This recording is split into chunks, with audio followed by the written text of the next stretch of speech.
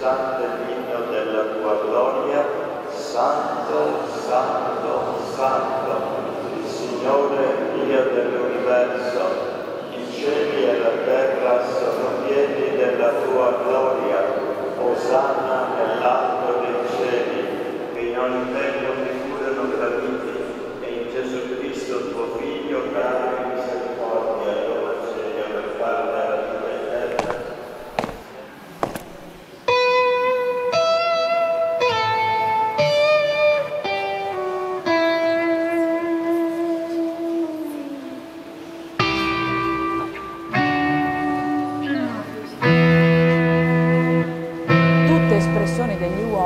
che prima non erano mai state rappresentate. Prima non era pensabile una cosa del genere. Giotto è un artista del Medioevo italiano, ma la sua rivoluzione è proprio quella di anticipare temi che sono tipici del Rinascimento. Giotto anticipa il Rinascimento.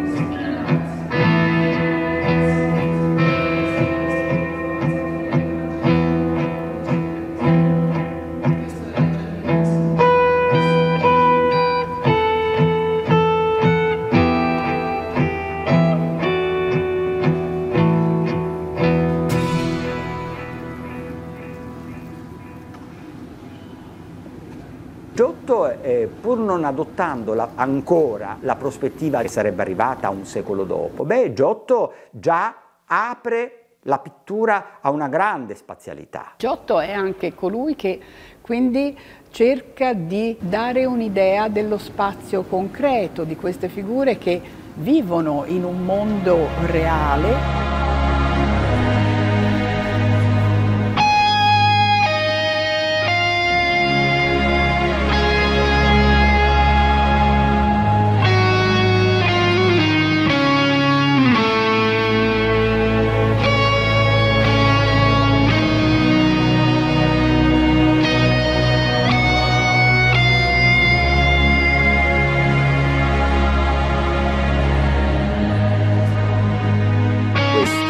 Cambiamenti sono stati irreversibili, dimenticate, non potevano essere più rinnegate. Dopo aver cercato per tutto il Medioevo di trascendere l'uomo, di andare oltre l'uomo, poi è tornata all'uomo.